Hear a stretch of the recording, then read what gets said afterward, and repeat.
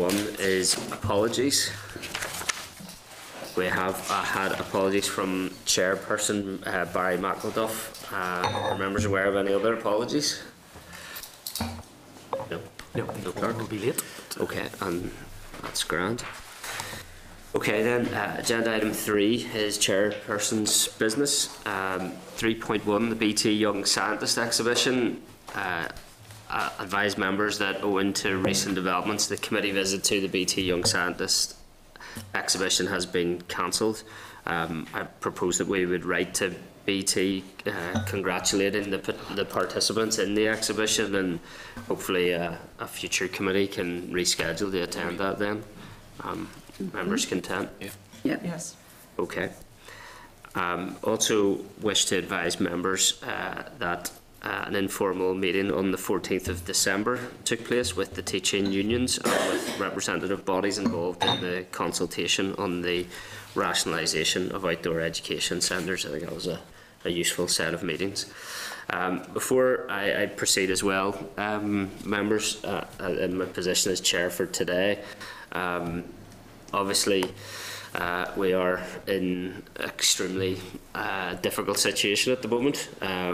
A regrettable, unacceptable situation where, in all likelihood, um, the as a result of uh, issues beyond the control of this committee, the on- ongoing um, crises at executive level, we are unlikely to have an executive, unlikely to have an assembly, and I presume unlikely to have a committee in in a matter of days, if not weeks, and therefore the committee will not be able to sit to conduct its its its business. Um, that is going to include scrutinising issues like uh, what would appear to be an extremely severe ongoing school budget crisis. Um, we're in the mouth of what was meant to be the consultation around the special educational needs nursery provision, outdoor education centre review, children and young people's strategy, and obviously our inquiry into underachievement and post-primary transfer, which we'll touch on later, um, will cease as well. Then um, we have the the the issue of um, of whether we schedule ongoing meetings or not. I would propose that we uh, provisionally, uh, notwithstanding any other further dramatic changes, a meeting for next Wednesday, and that we invite the education minister to come to the committee to advise the committee on contingency planning for budgetary matters, given the the, the scale of challenge that appears to face our schools at this time. Are members content? I think that's a good idea, Chair. Members content, yeah? Okay, thank you. Moving on then to draft minutes of the meeting of 14th of December 2016. Draft minutes of the meeting are on page 18 of your packs. Uh, are members content that the minutes are a complete and accurate record of proceedings? Great. Great. Okay. Matters are arising then, folks. Um, there are no matters arising, uh, so we'll move to the next item of business, which is item six, the 2017 to 18 resource budget and the 2017 to 21 capital budget. I would refer members to the briefing papers starting at page 26 of your pack and to table items which include a paper on the budget from the Assembly's Public Finance Scrutiny Unit. Could I ask the clerk to speak to these briefing papers? So, Chair, um, my speaking notes uh, have now, I think, been superseded as the um, committee has decided to invite the Minister to come next week. It was just the only sort of minor point I wanted to point out to members was just um, in my covering note, there's a reference to um, school deficits. Um, so there's some information placed in the Assembly Library before Christmas. The figure of 19.3 million rising to 76 million in about uh, three years' time has been quoted. Just so that members understand, that's not an annual figure, that's an accumulated figure, so that the, the deficits, as I understand it, roll on one year after another. So it's not that schools are short 76 million in 2018-19. It's, I guess, they must be short annually about. Um, 28, 29 million, it's that sort of number. It's just um, in case there's any confusion, because I know there had been some commentary on it. Uh, it was simply that, and I think um, the committee has agreed to ask the Minister to come and, and talk about budget, etc., um, contingency planning uh, next week. So probably nothing further for me to say, Chair. Yeah, thanks, Clerk. Um, happy to take comments or questions from ministers, but my understanding from um, that information and, and media coverage over the, the Christmas period is that potentially as many as half of all schools could be in, in deficit within the next three year period. Um, so I, I think it, it, it's welcome that we will invite the minister to come uh, to advise us on plans um, for contingency budgets um, with particular reference to that issue facing schools next week. Members are content. I think, I mean, I agree with Chair, um, and I think schools have been facing, um, problems year on year with regard to the budget, and it's just, it's so unfortunate that it's gone, it's continuing again this year, so, um, yeah, support, support the move by the Chair. Well, when we when we met with principals in the in the uh, recent months, the clear the clear call to us was for a, a three year budget rather than a one year budget. But they they don't even have a one year budget um, at this stage, um, and obviously that will be extremely close to the end of this financial year potentially before they receive that. As, as far as we know I, I think it is hopefully the, the minister will be available. There will be a committee meeting next week to try and provide some clarity to schools because I imagine um, the further uncertainty will over will only make things even more difficult. So hopefully that's that's something that we can take forward next week uh, members Sorry, Barry. that's Yeah. Rosemary. Rosemary sorry Yeah. Um, in the press before Christmas, there was a suggestion that no school budget had been accept, was going to be accepted. Can I have clarification on that and what exactly that means? I, I, I think that's why we need the, the minister to come to the committee, um, and I think we can include that question, that query, in our brief, in our correspondence to him. I read the same article, Rosemary. Um, I think it was covered in the, there was an Irish News article that referred to all um, budgets having to be rejected at this Yes. moment in time. So I I think it is. Um, there is an urgent need to get clarity from the, the minister around those matters at the earliest opportunity. Hopefully, we will have that opportunity to do so next week. But as you know, uh, matters are changing on a on a daily basis. Thank you. All right, David? Uh, David, you want to come in? No, it's no, you're happy enough. Colin, welcome. Happy New Year to you. Um, we are are just on item six, which is in relation to the resource budget for 17 to 18 and the capital budget for 17 to 21.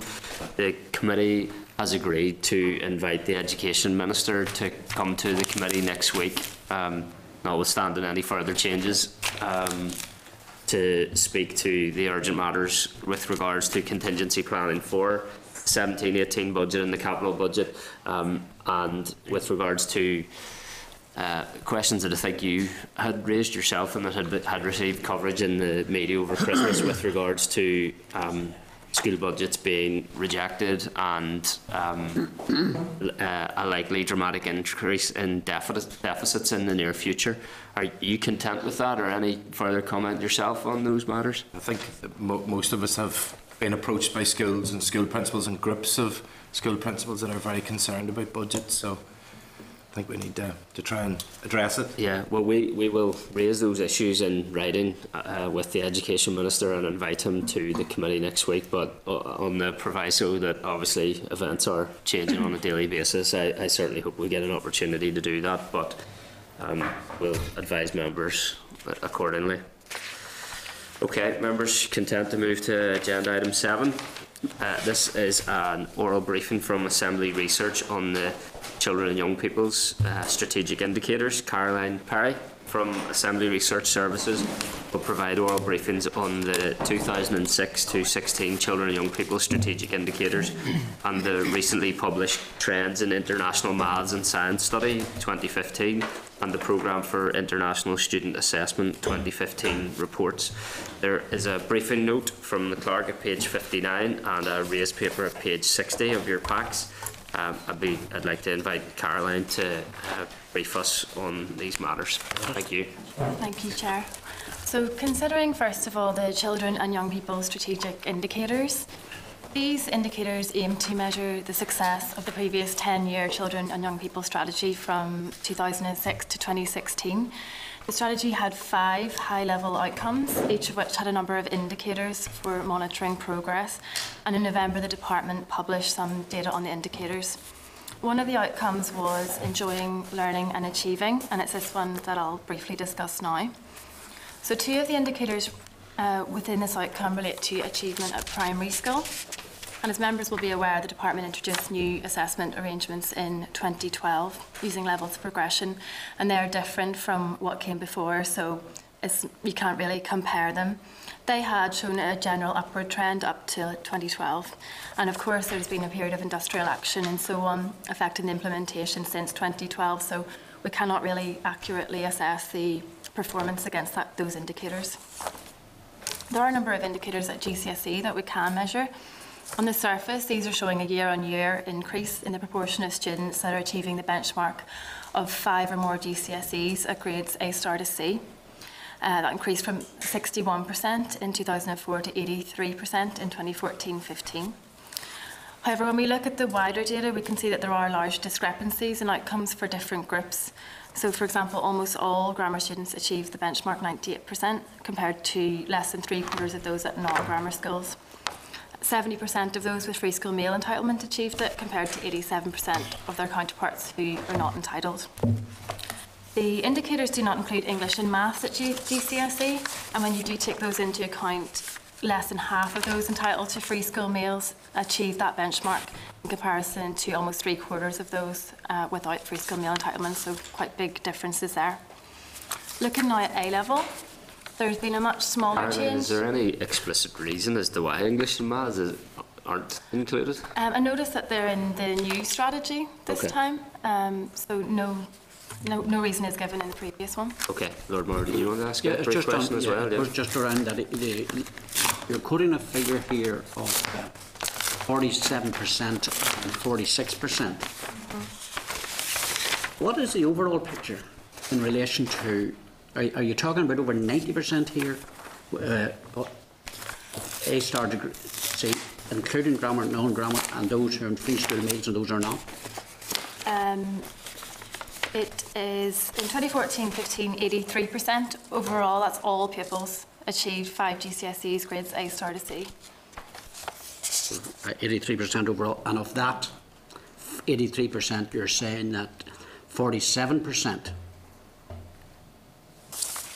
Is that, 40, uh, well, there are different. Which grouping is it you're referring well, to? I'm just looking at the first one here, A A star to C uh, grade, while just under half, forty-seven percent of non-grammar students and forty-six percent of students entitled. Why do you switch from non-grammar students then to forty-six percent of students entitled to free school meals? Are you, uh, is the inference there that there is no child at grammar school that is receiving free school meals? No, it just was simply trying to highlight the discrepancies among the different groups. So the proportions are always much lower for those in non-grammars and those who are entitled to free school meals. Of course, there are many pupils on free school meals in grammar schools as well. Chair, there's also things I want but I'll not do it at this stage uh, because it's. I, I think there's a lot more. Mm, uh, uh, but anyway, I, should, I shouldn't probably have interrupted yet. Your, what you were doing. So ju- just to be clear then, once English and maths are introduced, 67% of all pupils achieve five GCSEs, mm-hmm. A star to C, including English and maths. And, and the data that was being presented is that 47% of, that's 47% of non-grammar students and 46% of students entitled to, entitled to free school means uh-huh. that could be pupils at grammar on or non-grammar. It's just the, right. the data is for free school means. Yeah. Are you content with that, Lord Morrow? Yeah, Okay. okay, thanks. So I'll turn now to A level, and there has been a much smaller change in the results over the 10-year period uh, compared to the GCSE. So it was 62% achieved three or more A levels at grades A star to C in 2004-5, and it went up to 65% in 2014-15, so a 3% increase. Again, the wider data provides a more mixed picture, and a much lower proportion of non-grammar students and those entitled to free school meals achieve that benchmark. So in terms of the educational indicators themselves, um, the OECD have stated that the targets used to evaluate the education system here are limited in their scope. Um, and while student achievement is a valid, out, a valid measure of outcomes, These outcomes are linked to a range of factors that are often outside the government's control, um, parental involvement, background, and so on, um, so cannot simply be attributed to government action. So what they're suggesting is that more sort of value-added measures would be used, taking account of student background and progress. And internationally, many countries do complement their performance data with a wide range of indicators based on demographic and contextual data uh, collected from schools. So the indicators also discuss the destinations of school leavers, and over the past 12 years, there has been an upward trend in the proportion of school leavers progressing to further and higher education. And the same period has seen an overall decline in the proportion of students entering training or employment. And again, looking at the wider indicators, there are gaps between the different groups. Uh, for example, 91% of grammar students attended further and higher education compared to 68% of their counterparts at non-grammars. And Catholic school leavers were more likely to attend a higher education institution, 45% compared to 39% of Protestants. Final indicator then looks at looked after children. And the proportion of looked after children in education, training and employment has fluctuated in recent years, although overall it has increased since 2005. Research does emphasise the really complex challenges that looked after children face and suggests that an emphasis on progress rather than outputs would provide a more valid measure of what government and what the education system is adding. Uh, so to conclude this one, Chair, um, while the overall trends within the children and young people's indicators show improvement over the past decade, there are large discrepancies in outcomes for a number of the groups, particularly disadvantaged young people and those attending non-grammars. So areas for consideration could include the indicators that are used in the new strategy and the extent to which they demonstrate value added and uh, allow for robust monitoring of progress across a range of groups. Thank you, Chair. Thanks very much indeed, um, Caroline. Can I ask uh, briefly, have you assessed the indicators in the new strategy vis-a-vis some of the areas for consideration that you've raised today? I had a quick look. They are they they deliberately only put a small number of indicators in, which they say is to ensure focus. Um, they said that they will have secondary indicators that they'll use to monitor progress. Um, the extent to which they will be made publicly available or available to the committee is not clear just from the strategy itself. Um, the indicators are the proportion of children at the appropriate stage of development in their preschool year, the proportion achieving the five GCSEs I started to see, including English and Maths benchmark, and then the gap for that between free school meal and non-free school meal students. So those are the three indicators that they use. Okay. Uh, thanks very much, Caroline. Um, Rosemary? Yeah, ask you a just- question. Yeah, just one question. Um, you talked about page four on our notes, which are our briefing, which which is page 63, but page four. Uh, Catholic school leavers were more likely to attend a higher education institution, 45% compared to 39%. How do you gather, how's that information gathered up? Is it, do they, do they, just because you go to a certain school, are you labelled Catholic? Because you go to a certain school, are you labelled Protestant? How do they know? Because I know quite a few controlled schools that have both uh, denominations in them now, and where do integrated where does integrated schools come into this equation, and how do you know? You like it's we don't set it, we don't write name and religion on our examination papers.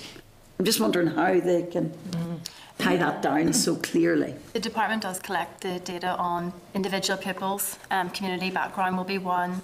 Uh, so they that will be they'll be designated that way by their parents or by themselves. Uh, they will also um, provide the information by school management types. That's another way that we can look at the data as well.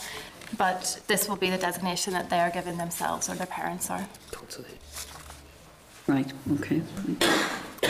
And the Colin, yeah, you want to come in? Yeah, just two questions. Thanks very much for the presentation. And um, The, uh, I suppose the question is, is, is, do you have any more information about the, you talked about the value added that is used in other countries. Here, we're quite blunt, it's about how you achieve academically and that there dictates how you achieve or don't achieve. You said that other countries, you mentioned demographic and contextual. Um, have you any examples of what those might be that, that other countries might use to try and gauge how young people are, are really progressing? Because reaching a target, I think we all kind of accept for a lot of young people reaching a particular target is not a measure of their, their achievement. Their achievement could be how far they've actually progressed and moved in their educational journey. So, do they have any of those types of elements? And the second question is the new programme for government is there, has there been a change in the level that the GCSE is measured? It's now is it level two? The number of young people reaching A star at level two, as opposed to previously, it was a different level. And is that new level? And I could be totally wrong on this. I'm looking at your advice on it. Is that new level um, a lesser level? So therefore, is that a statistic that has been set that's going to be much easier to achieve? Okay, so for the first one then, the demographic and contextual information. Um, so a lot of countries will look at disadvantage. That's the key. Socioeconomic background is a key predictor of educational success. So they'll take that into account in different ways. We use free school meals, of course. It's not a perfect measure. Some other countries have um, ways of, of getting that, whether it's sort of asking the school, asking the parents, and getting the more accurate information around that. Uh, and that can be used. Prior achievement is another measure that's a really strong predictor of future achievement. So some countries will be looking at what the students come into school with and compare that to how they leave, and that really shows you how the value the school has or the education system has added. So those would be some examples of that. if it can be cheeky and allow, I'll keep going till I'm stopped, uh, to come back at you. Um, is there any way, because again, free sc- uh, using free school meals simply shows how many of them achieve or don't achieve. Now, I can see where that would be useful to the department, because the department could say, well, if lots of people with free school meals aren't achieving, then we need to pump in some resources to try and help them to get that. But again, it doesn't measure the journey that those young people are actually taking, because a young person could be all of their life cruising at a grade F, and then they manage to get a grade And they've actually progressed. They've moved. They- could have X amount of skills in a particular area, and then by the time of their educational journey, they have developed more, but they may never reach the standards that we're setting. So they're always going to be seen as not reaching the standard. Is there any country that uses a measurement? Do you know where it actually measures the journey that children are making rather than how they attain to a standard? Yeah, in England they do that a lot more. Um, so there's a lot of testing. There'll be the criticism then at sometimes level there where pupils are tested extensively in primary school. Yeah. But that gives that baseline then that they can use to assess the progress in school. So it, that's one example of a country that would, would use that kind of information um, more extensively. Okay, I see. Right, yeah. Yeah. And the levels, the GCSE levels. Yeah. So in the, did you mean the, the, strat- this current strategy and the previous one?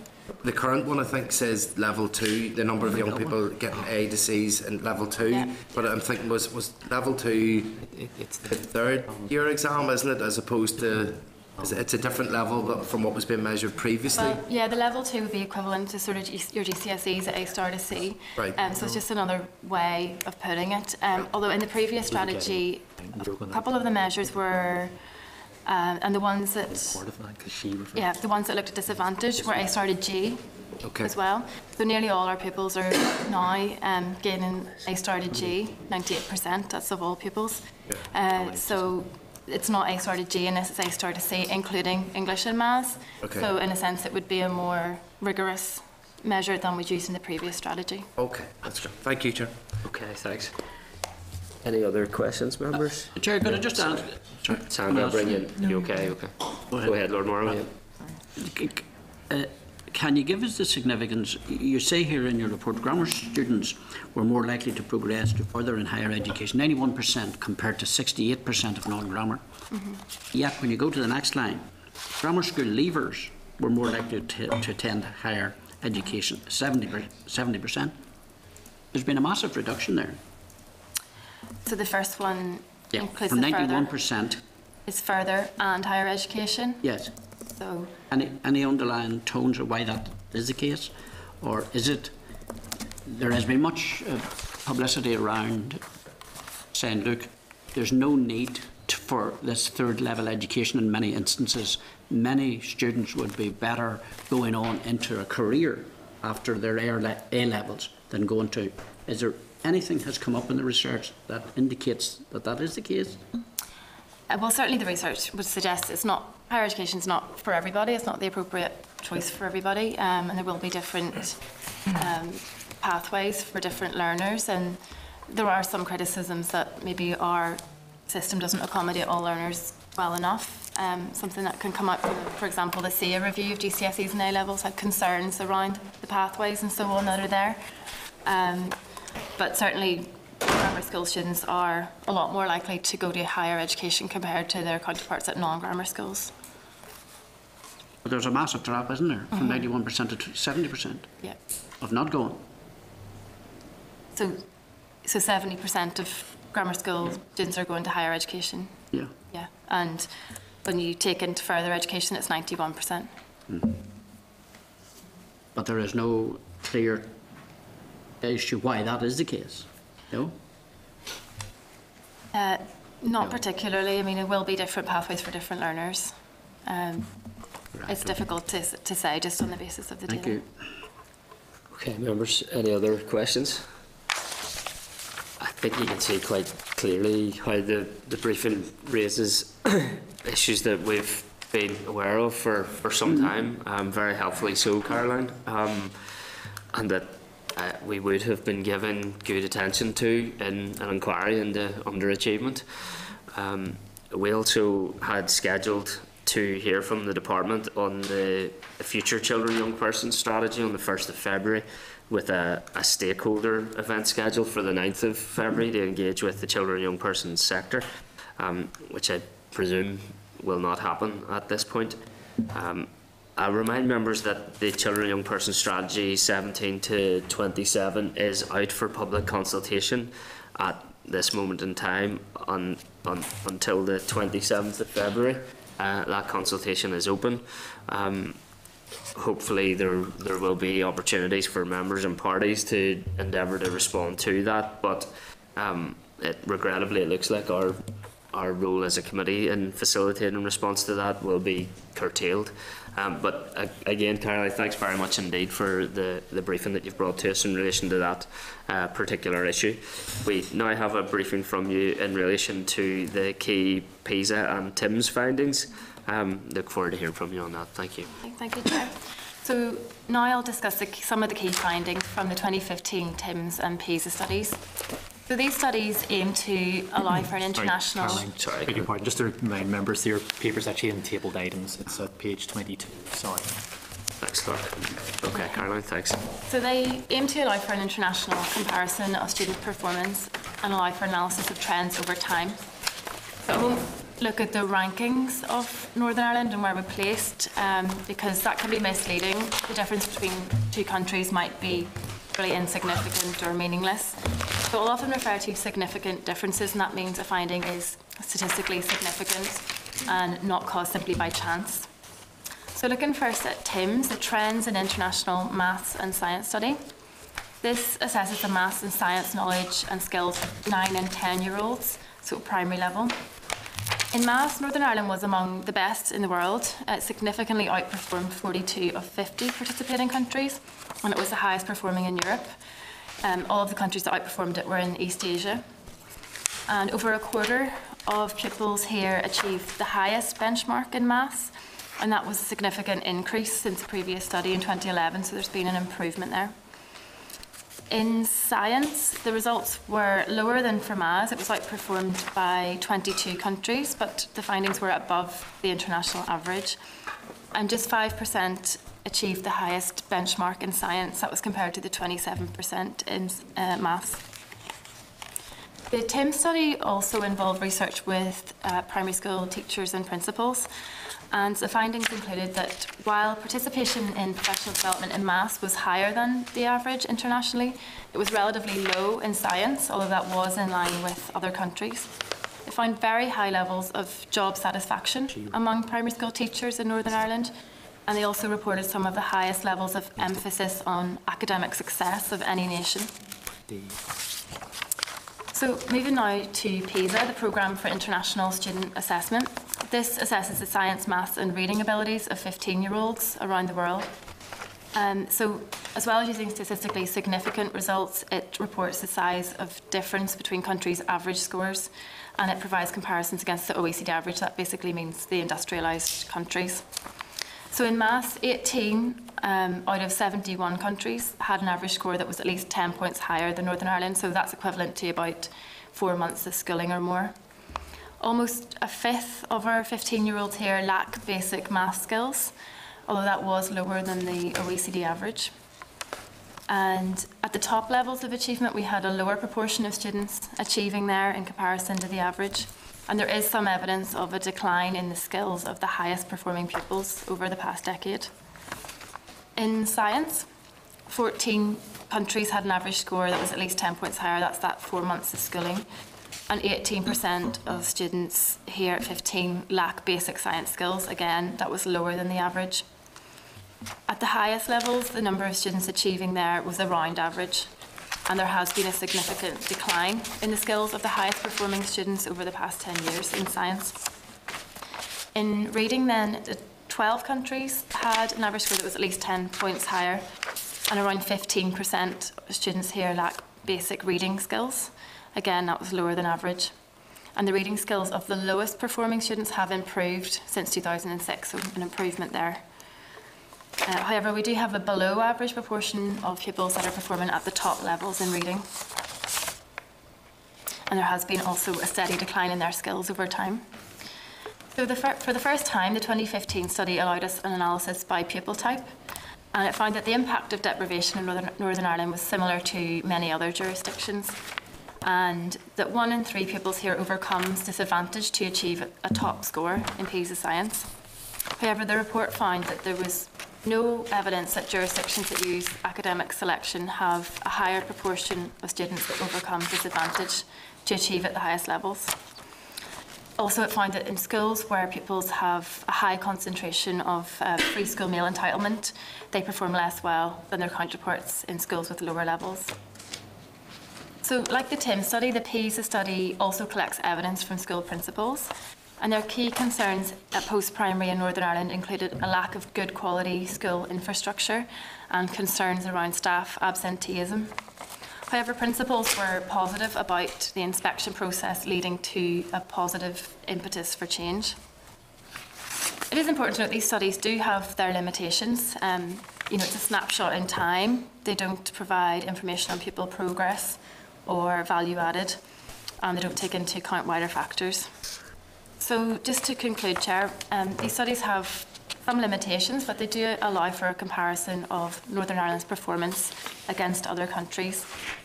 And there are a number of areas that could be given further concern uh, consideration in light of the findings. Uh, for example, the teaching of science in primary schools.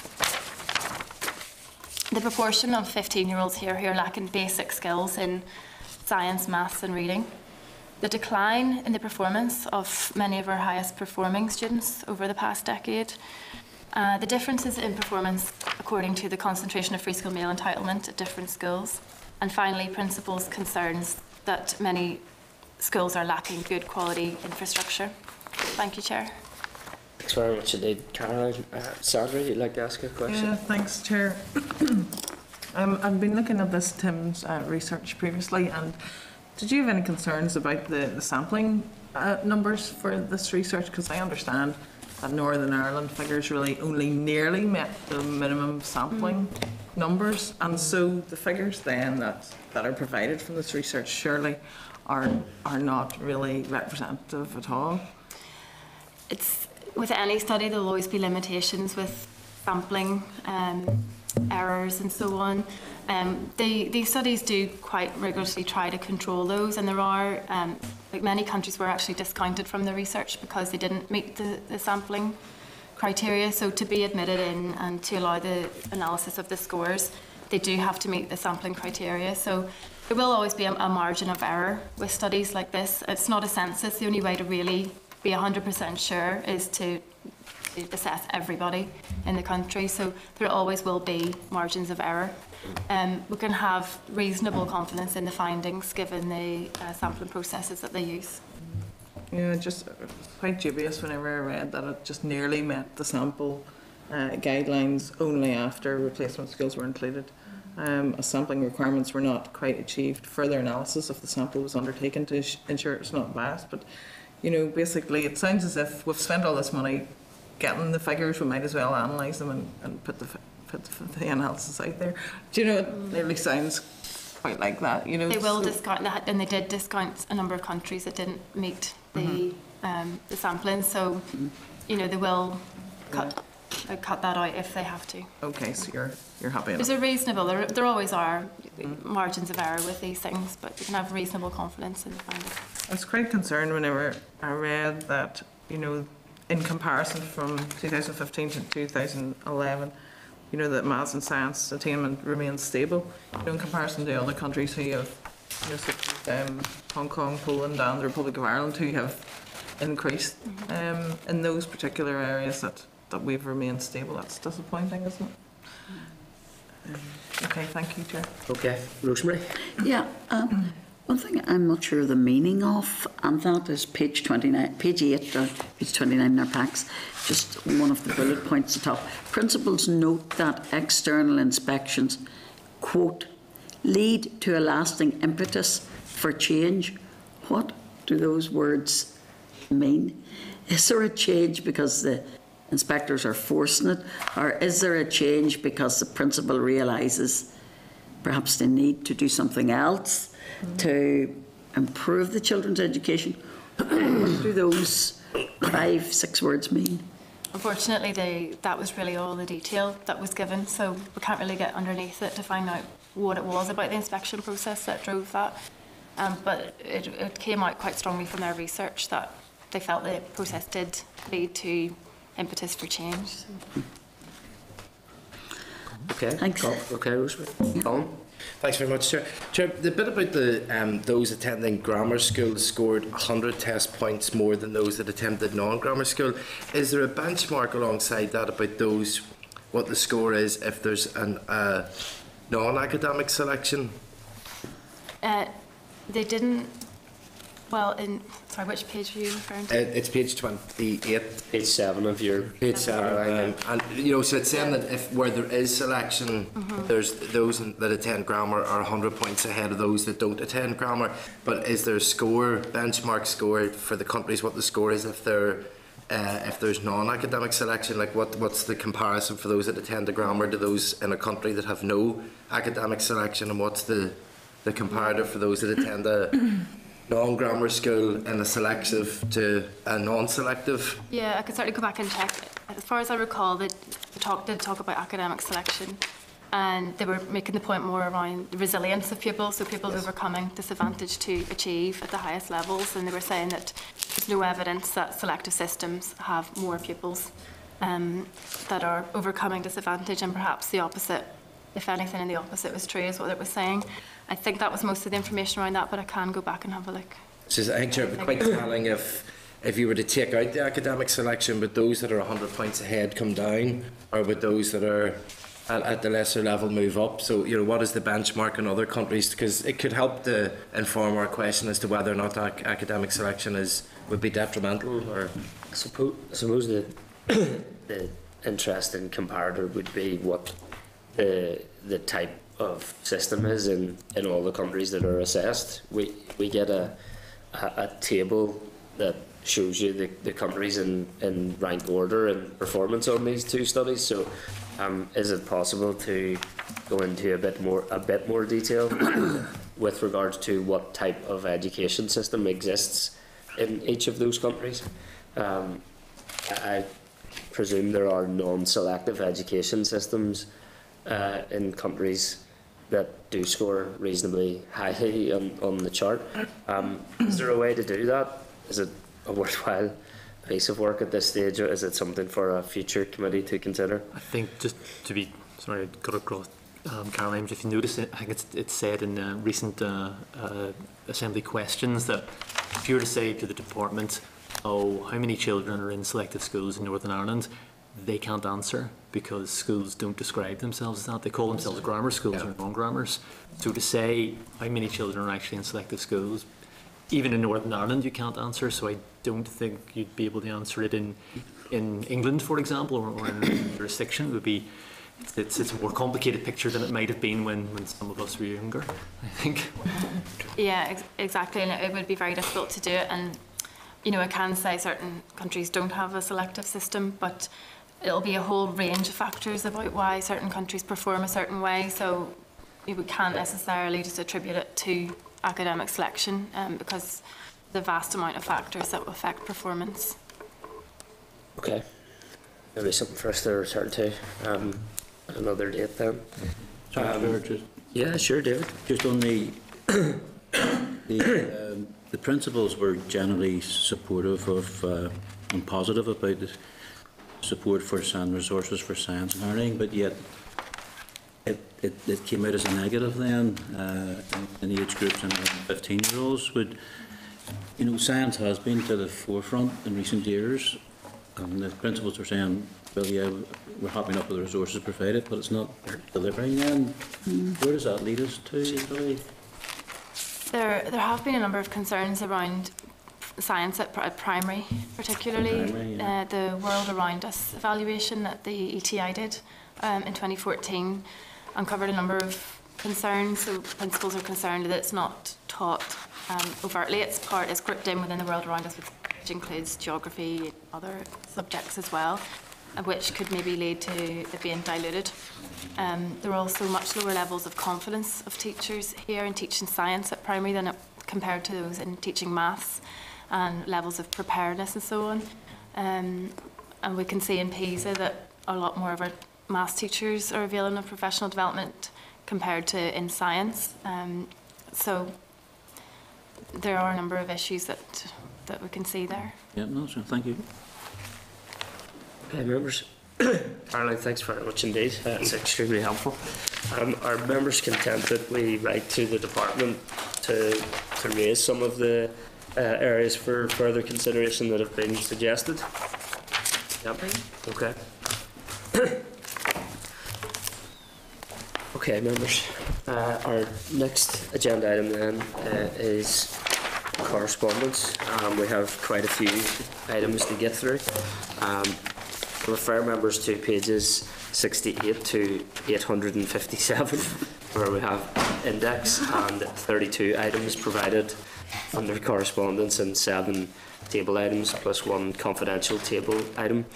Um, can I ask the clerk to speak to correspondence? So, Chair, um, we've a, a summary note of all the correspondence is included at pages 68 to 74. So, if members are content, we'll just dispose of those in line with the summary note, and I'll just pick out a few that um, members might be interested in. If there's others, uh, if members will um, indicate to the Chair, and then we'll accordingly. So, item number to page 75, the um, Committee for the Executive Office on the Executive's Draft Programme for Government. So uh, the Committee for the Executive Office has written to us um, indicating their report on the PFG. As members will recall, um, the committee done a bit of work on this. We did a um, stakeholder event, we produced our own report, um, sent that off, and then just as I was about to send it off, the department came back with an answer to the questions that we'd asked. So I circulated that to members before Christmas and uh, obtained agreement to append that. So that's done. But what I've included in the correspondence here is that answer um, from the department. And they've come back on quite a few points. They've also confirmed that the little table that I did out was was um, was accurate, uh, and they've, they've included some commentary, helpful commentary on that. So. Uh, I, I, can I ask Chairperson of the committee content to note this and for me to publish um, our response on the uh, committee's webpage? Great, Yeah. great. So moving on then, um, the next item at page 107 is from NICCY, also about the programme for government. Uh, they raise a number of points that they'd raised before, but they also um, indicate that the children and young people's version of the consultation document was only made available, they appear to indicate four weeks before the closing date of the consultation. So they were calling for um, a, uh, an extension of the consultation on the programme for government. And they'd also, they made a number of points which think may have been addressed whenever you come to look at the children and young person strategy. So it was just to highlight that the members, it is quite a lengthy um, submission that we've made, uh, that they have made. So whoever the committee can tend to note. Can, can we forward the correspondence to the minister to check that the, the, the concerns that were raised have been addressed? I think Or it- how they've been addressed? They've actually written to the minister and they're, Okay. minister of the executive, and they're copying to us, but we can write to the We department. ensure that we get a, a copy of the response too, NICCY, Sure. notwithstanding further changes. Yep. Okay. Uh, so that being the case, the next item, uh, page 131, is the consultation on the executive strategy for children and young people. So this, this is a huge document. Um, the way I was going to manage this was that the department were going to come up to us on the 1st of February, talk all about it, and then we were going to have a nice um, informal stakeholder event on Tuesday the 7th of February so that, you know, members, and we were going to have a youth panel up and all sorts of stuff. And, um, and uh, as far as I'm concerned, that still happens. Um, unless, of course, the Assembly dissolves. But as far as I'm concerned, this is all still on. But um, it is a lengthy document, lots of stuff in it. Um, members need time, I think, to think about that. Um, so, suggested chairperson of the committee simply notes for now. Okay. Members content? Yep. Okay, so moving on then, page, not going to go through every single one, there's a few uh, ones at the start. So page 258, um, this is about the special educational needs framework. So to remind members, we had a session, uh, across a departmental session um, on just before Christmas about this. Um, and I say the department uh, is due to brief us at our next meeting um, on the regulations which uh, were to be, uh, as far as I'm concerned, are still are to be brought forward in respect of the uh, SEND Act. Um, the committee had asked for a definition of the valid exceptions. This is about the issuing of statements, and statements are um, often late, and there are, and they've set out what the valid exceptions are. Um, DE hasn't indicated how many late statements are issued without a valid exception. Um, and further to that, uh, there was something in written questions, uh, AQW 6798, where in response to a question about um, how many children have had um, statements, the department comes back saying the Education Authority has advised that recent changes to its education management system appear to be impacting on the accuracy robustness of reports being generated. So that would appear to suggest that there's um, an issue around statementing and how many statements are issued, how many are late, why are they late, etc. So that, that's in the written question. So it's suggested that um, chairperson of the committee then writes to the Education Authority just seeking clarity about this um, because the committee has asked a number of times how many late statements are there and members I know have asked as well and uh, maybe that might be um, connected to the reason so it's uh, just to try and bottom that out. So they're, they're telling us how many late statements are issued um, without a valid exception, but they're not telling us how many late in general are issued. So, um, yes, yes, without a valid Okay. exception. So, yeah, that, that was the, the issue. As members may recall, there's a very, was a, a large number, a large percentage that were late, and there, there lots and lots of valid reasons. But the reasons, as you can see, um, are, I think they're set out here somewhere. Ah, yeah, but they've given us reasonably long list. So it's, but there also seems to be some kind of issue around their, the data collection around statements generally, and trying to bottom that devil out. Okay. Content? Members content are right on that, yeah. So, uh, sorry to jump around like this, members, but there's a tabled correspondence which relates, so page 35 are tabled items. Apologies for doing this. Um, but Health and Social Care Board, um, so they were up to see us um, with the Public Health Agency and the Department and the Education Authority uh, before Christmas. Committee wrote to them um, to give you the background, to remind members, um, in the previous mandate, um, there had been concerns raised by the committee about statementing and about cooperation. And the answer that came back was, at that time, uh, yeah, there's a review of allied health professionals and a review of multidisciplinary support teams. Um, and so the committee then wrote about this. They've come back and said that these have now been concluded and regional models, so Northern Ireland-wide models for SEND support, are either being considered or they're being implemented. So that, that is new information, that's stuff that the committee, um, I don't think knew.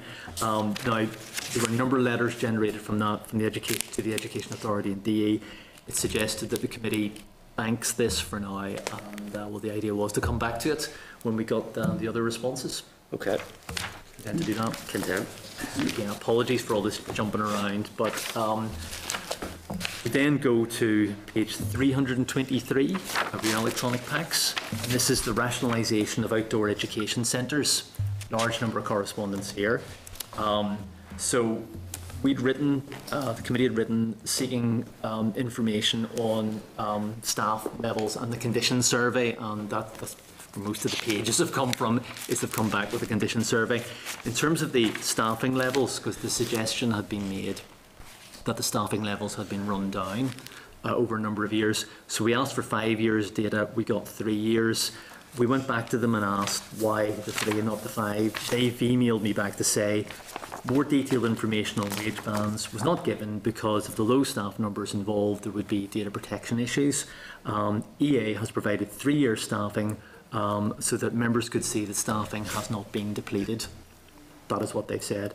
Um, uh, my answer, my suggestion to take this forward was for the committee to note the correspondence pending EA's scheduled return. So they were due to come back to us at the end of the consultation period.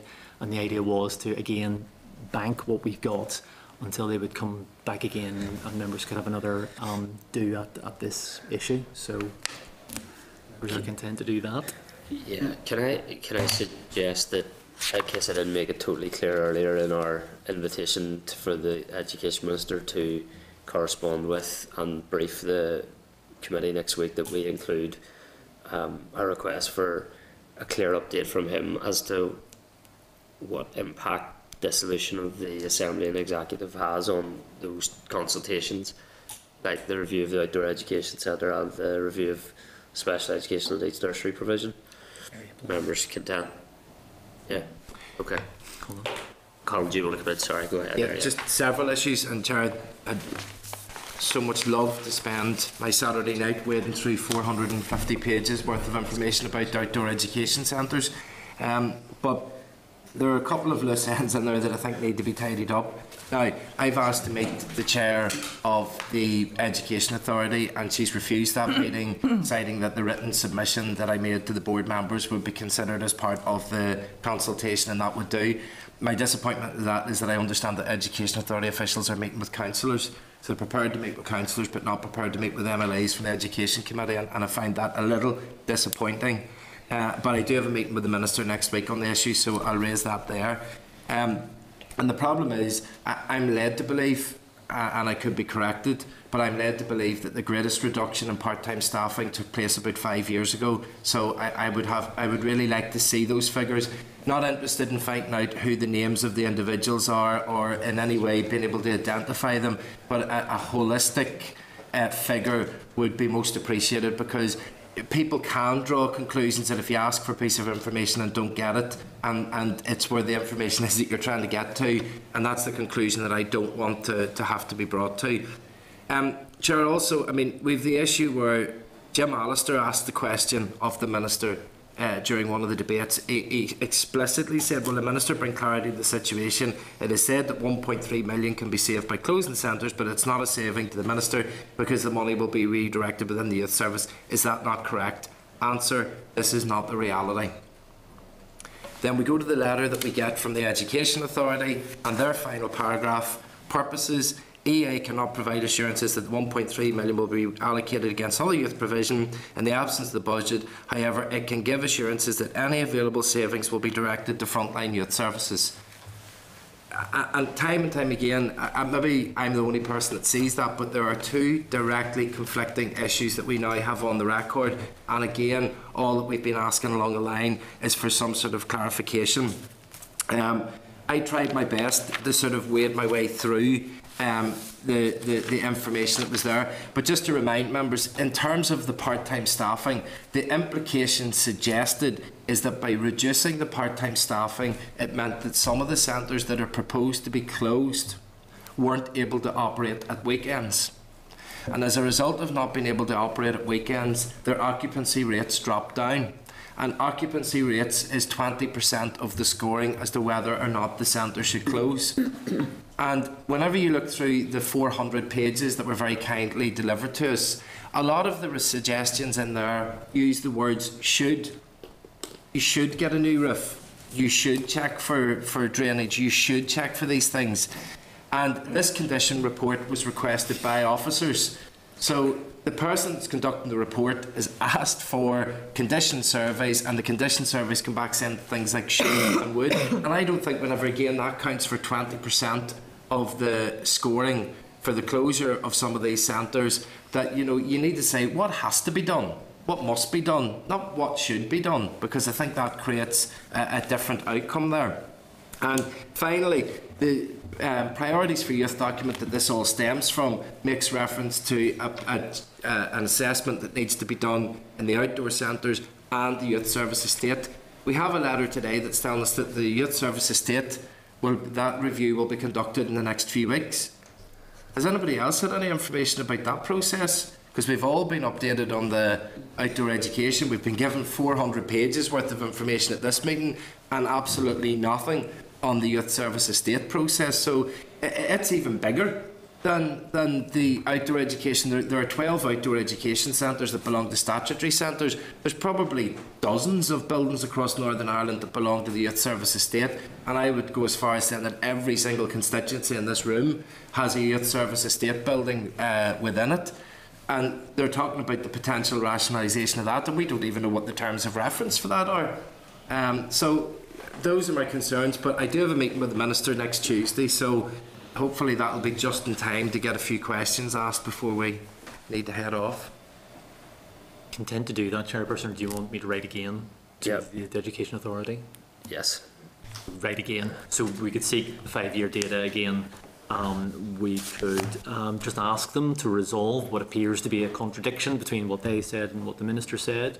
And um, we could also seek the terms of reference of the youth service estate. Yep. I kind of was expecting the Education Authority to provide, what we didn't specifically ask, but whenever I ask the department questions like that, they usually very helpfully come back with a, a fairly full response. Anyway, sorry, Chair, so I will do that. In terms of the, the five-year data, um, if, if they're insistent on a data protection issue, even the top line reduction in staff, you know, for those years, yeah. Okay. Is that Colin? Yeah.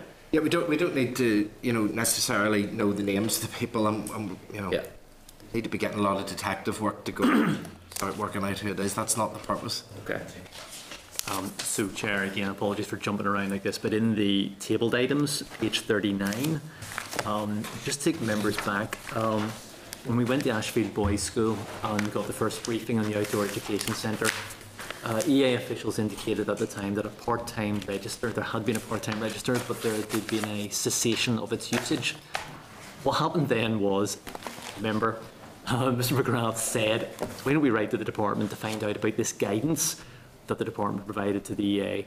The department wrote back and said there was no guidance. In truth, the EA officials never said there was guidance, nor did they correct you when you said it in front of them, but they've come back with a letter basically saying that, that there was no, the department never issued guidance. The department has said that too, so there was no guidance. Um, the Education Authority ceased using a part-time register. That's what that letter says. So, our members can then denote. Yeah. Okay. Okay. Right. Um, so moving on then uh, to uh, page 728 of your um, uh, electronic packs. Um, this is from um, a special school, and they provided uh, an extract um, of the minutes of the Children and Young People Services Committee of the Education Authority. Uh, so it's item 12. Um, the minutes seemed to imply, and this wasn't, wasn't quite clear on, that figures previously considered by the Education Board relating to statements might not be correct. Um, so I, uh, the, these minutes refer to other minutes, so I've looked up the other minutes and they, they don't really say very much. They just say the this particular committee or board um, considered um, the number of statements, and that's all it says. Um, so there's then some sort of reference to the, the numbers maybe not being quite correct. Um, uh, so further to that, At item 13, page 731, we wrote to the Education Authority about the number of filled preschool places in special schools. Now, this has been an ongoing exchange between the committee and the EA. So, members to take you back again, the initial number, initial what the committee had previously been told was that there was an expectation that the number of preschool special school places required was going to increase from about 300 to, I think the number was 365. Yeah. Um, and now they've advised that the number is going to be 303, though that may change during the year, but by December it was there. Um, uh, so the, again, uh, the- the suggestion, what the committee might want to do is just to write to the Education Authority again and just seek clarity as to whether this 365, 303 problem arose because of data issues relating to the number of statements. Was there simply a mistake? Um, was there something a little wrong in uh, the number of statements and it led them to think, oh, there's more pressure on preschool, special school places than perhaps there's turned out to be. So it's just trying to get bottom that out. Um, so, Chair, the committee Yeah. can to do that. Yeah. Can they can they can they break it down by area as well? I think, yeah, we, we've actually asked this, uh, but I will can ask again. Oh, sorry, Lord Morrow. Sorry, yeah, just before I bring in Lord Morrow as well, looking at the minutes to which the correspondence refers, it, it refers to um,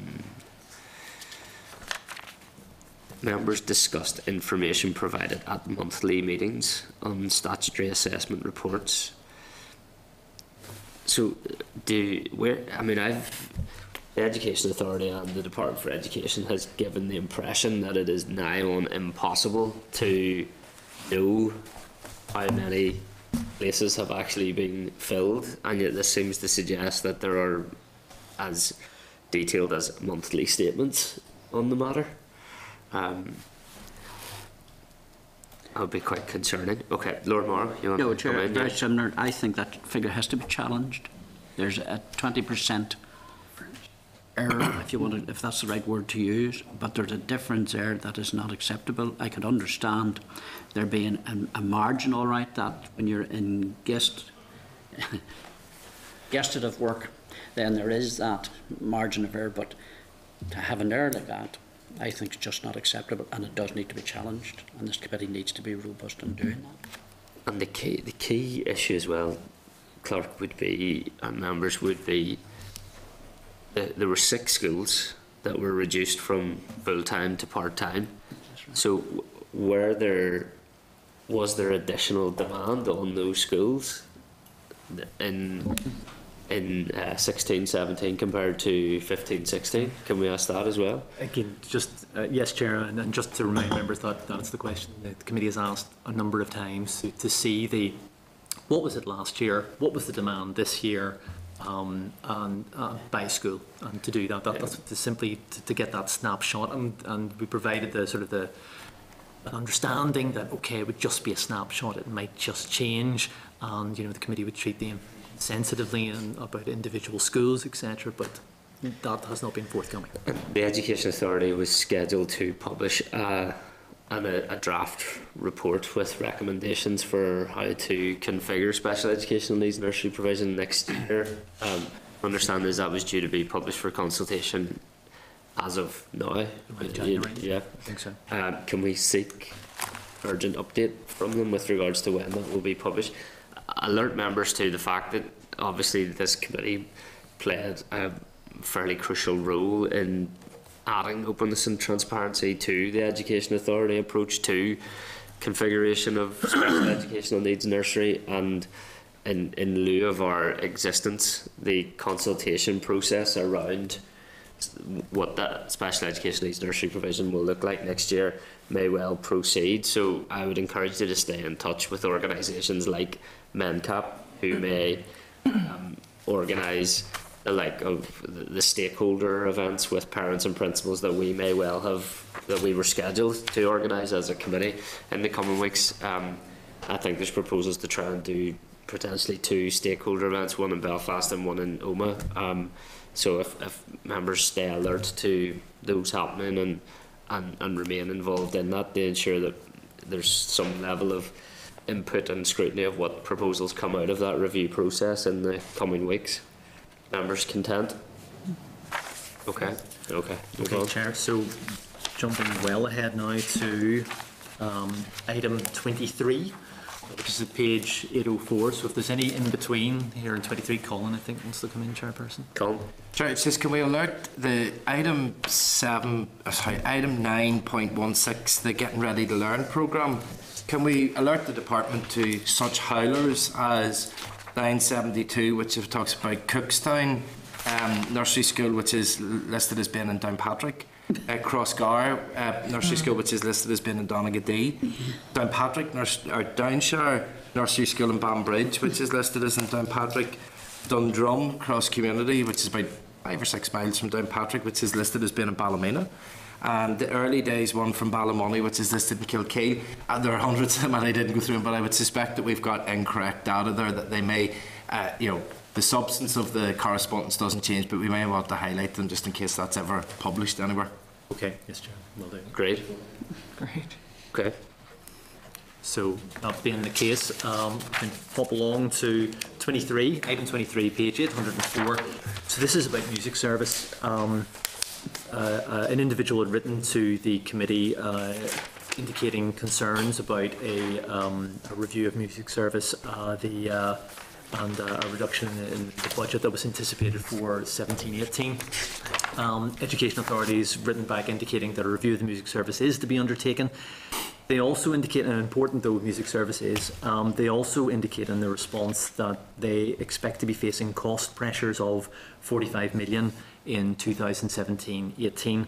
Um, and um, further to that, um, members may wish to note that um, recent EA board minutes, uh, they actually refer to um, indicate that savings of 50 million uh, will be required in 17-18 and they've identified 23 million pounds of possible savings and this is what the minutes indicate including a 5p increase in school meals, 10% increase in music service charges, 10% cost reduction in music service, standardisation of home to school transport in all parts of Northern Ireland, basically everyone using the same door to door definition, new transport charges, doesn't say what they are, changes to the common funding scheme with schools apparently to pay for maternity cover and staff substitution costs.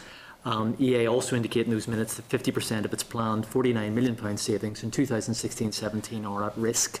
Um, they say that related bids in October monitoring round were unsuccessful and that new bids in January monitoring were to be made. So that's what their minutes say. It sort of does link into um, that um, correspondence. So um, I guess that might be questions for the Minister, but uh, committee intend to note and to forward the correspondence to the originator.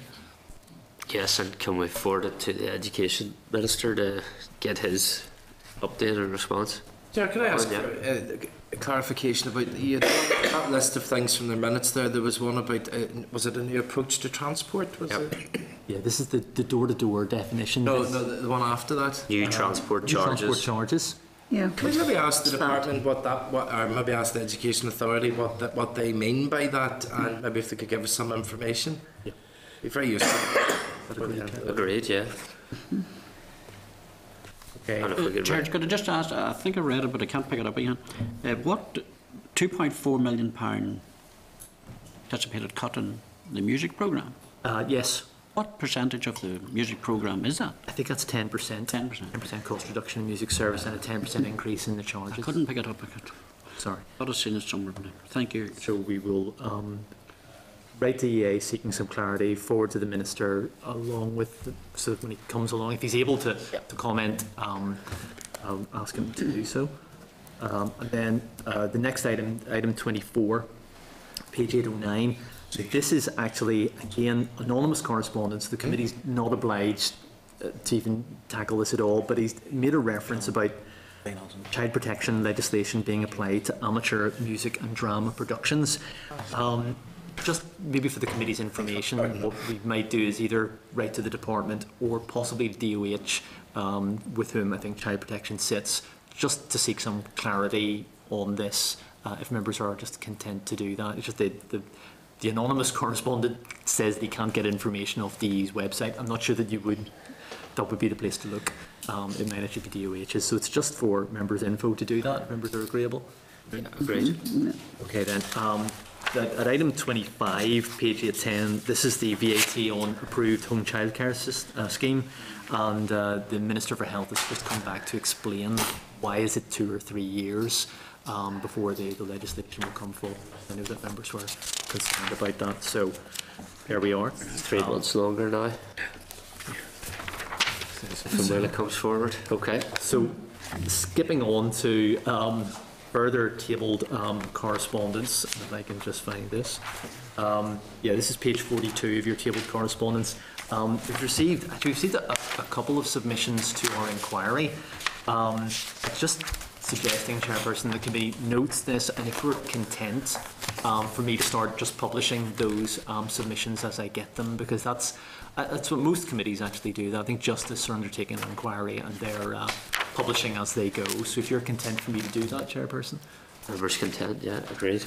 jolly good. Um, and then further to the tabled correspondence, um, there's more. Uh, and this is at page 44, tabled correspondence. It's um, a school, it's still a Sal school. They um, had their inspection report um, published the other day. The committee doesn't usually comment on individual um, inspection reports. There was a reference in the report to concerns around child safeguarding. I understand that um, ETI is to return to the school within six weeks in respect of this matter. Again, that's just for members' information. Are members therefore content to note um, the correspondence? Okay. Um, then further tabled correspondence, uh, we have at page 50. This is about school inspection. So um, to take members back, when the chief inspector came to brief us, which must have been November, uh, she made some reference to changes to school inspection. Uh, department wrote just before Christmas saying what those were, and the committee then asked about how did you consult on it, and they provided quite a lot of information on this. I, uh, well, as you can see from the forward work programme, the department um, was due to brief on this uh, in February. Um, changes which I think the union referred to whenever we um, actually had them um, uh, at the informal meeting. So if members are content to note that correspondence. so, And again, sorry for, for jumping around, it's just these all tend to relate to each other. So at um, item 30, page 851, um, there's an invitation for the committee to hold its meeting in Tannaghmore Primary School on the 1st of February. Um, I was going to suggest anyway that the committee politely decline the uh, invitation because we were due to be out um, anyway a number of times that week. So if uh, members are content to do that, okay, very good.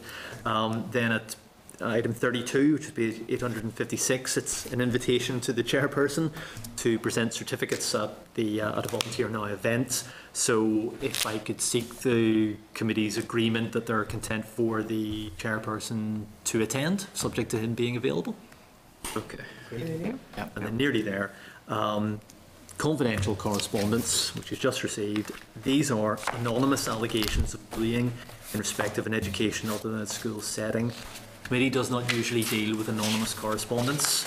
See why? Because not much we can, can't go back to the person. But I've spoken to the department. They've confirmed this correspondence, which was actually sent to the minister and just copied to us, has been received by them and is being dealt with them under their complaints procedure.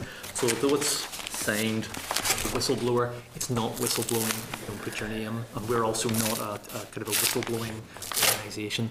Um, for members' information. So, uh, and then finally, finally, table just, card- uh, just, uh, Sorry. I, I recognise this is branded confidential. yes. What do we do with this? Do You can hand it back to us or dispose of it That's carefully. fine. And then finally, finally, tabled correspondence, nearly there, members. This is really the last two things. Page 55, administration of medication in schools. Members will recall there's an ongoing consultation about the use of EpiPens in schools. This is to deal with allergic reactions and such like. Um, the Department of Health has come back to us No, it's sorry, beg your pardon. It's uh, Department of Education has come back to us um, very helpfully setting out the training and insurance considerations for schools. This is an issue that the uh, predecessor committee spent a lot of time on. So members are content to note the final tabled correspondence is at page 58. This is the joint consultative forums. This is a group that was set up when the five education and library boards were still going, so it, it includes lots of other groups, and they uh, they meet once a quarter or so, and uh, they've included um, just some uh, you know, the presentations uh, about organisations such as uh, SEAL and uh, their equality scheme, and uh, there's something about uh, education inequalities as well. So it's general information for the committee to note, Chairperson, if they're content. Okay. I'm not. Okay, thanks, Clerk. Members content with correspondence then? Yep, okay. Our next agenda item then is item 10, the forward work programme. The uh, forward work programme is available at page 859 in hope more than anything else. Um, members content to approve the forward work programme? As amended, though, so we're inviting, so if the minister will add him to the agenda, probably top of the agenda if he's uh, free to come um, next week, Chairperson. Okay, members content? Yep, okay. Um, any other business? No, okay. So members, we have uh, a meeting scheduled for next week with uh, the intention of having the minister there to advise us on contingency plans for some fairly serious issues there. I, I hope that takes place. Um, should it not, and should this be the last meeting of this committee for some uh, reason, um, thank everybody for their contribution. I think the it's been a, a, a positive and constructive committee so far. We've done some important work and brought some much needed openness, transparency and inclusion on a, a number of wide ranging issues that affect some of the most vulnerable people in our community. So um, thank you very much indeed. Hopefully we will have one further opportunity next week to see what the contingencies are for those very types of people um, and our schools in our community, no less. So um, next meeting is scheduled for Wednesday, 18th of January at 10am in room 30. All the best. Thank you.